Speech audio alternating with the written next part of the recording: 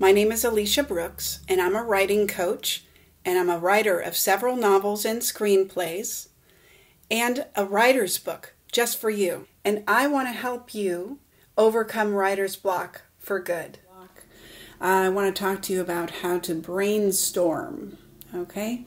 Um, some people don't know how to brainstorm. If you do, great. Skip this video. I don't care. It's okay. You can skip it. so, uh, for those who don't know how to brainstorm, take some scratch paper like this. Okay?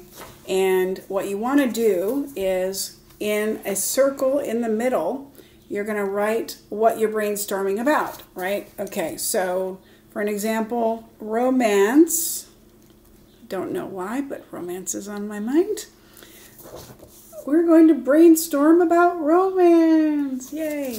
So then, what could this romance be about? Uh, we could say it's about a male male romance, MM, right? Male to male.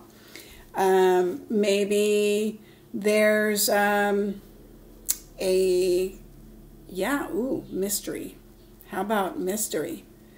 So if there's a mystery, what's what's the mystery? So we can actually have that another branch off. The mystery could be there's a murder, right?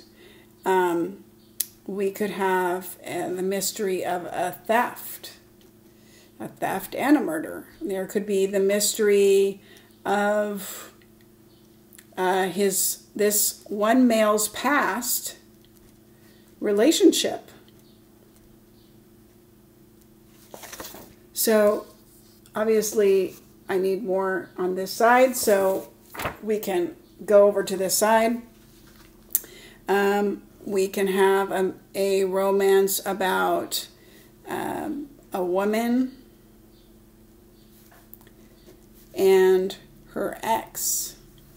You know, there's things like that. So anyway, just you just keep going around this, branch it off, you know, make different branches, and you can really um, very quickly get through a lot of potential ideas that way these don't even have to be great. They don't have to be right. The point is that you just keep scribbling out the ideas. A brainstorm is just that it's a storm. Okay, you want to just put everything you've got on that paper. It doesn't matter if it's bad or good, uh, it can be silly, it can be stupid, it can be great, it can be inspirational anything. Just keep writing. This paper should be completely covered in ink. Just once it's covered in ink, then you're going to take a look at it and go, oh, okay, so this actually looks really good.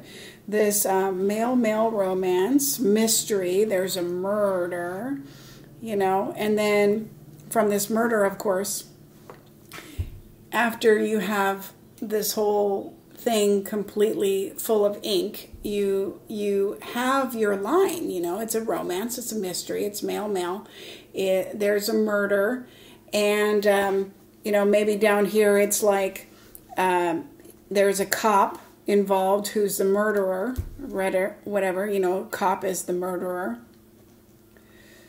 so you have all of these things you can actually connect the dots if you just brainstorm until this paper is full of ink, you will connect so many dots um, because it, it gives you an idea to move what's in your head onto this paper. And like I said, it doesn't have to be right, it can be completely wrong, but as you're going through it, once you're done, you can, again, you can connect the dots and find your story.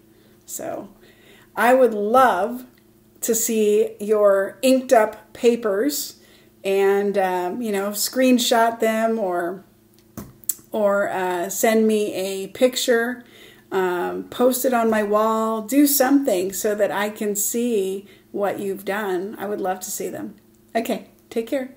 If this video has inspired you and you'd like to know more send me a message below